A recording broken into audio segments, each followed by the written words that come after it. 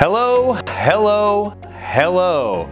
My name is John Roy and welcome back to my channel. Today I'm just going to look at the difference between the three cameras I have. My primary camera that I use for most of my videos is a Canon 70D. Now I love this camera, it's fantastic for taking pictures and videos, however it is very heavy and if I was looking to take it for my Camino de Santiago to walk across Spain, then it would add a lot of extra weight because you're looking at the extra lenses, a tripod, all the extra gear that I'd need to take with it. It's just too much. So my other option for a camera is of course my mobile phone. That's what I'm talking to you now on.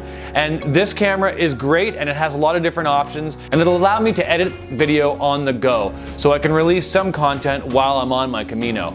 Also, I can plug in this microphone, which is a lav mic or a lapel mic, directly into the phone so that will allow me to have good sound quality as well.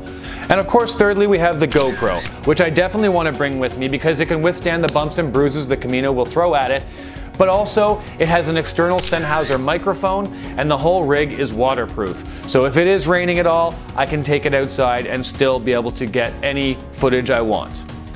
We've got the Canon 70D, we've got the Samsung Galaxy S7, and we've got the GoPro Hero Silver 4.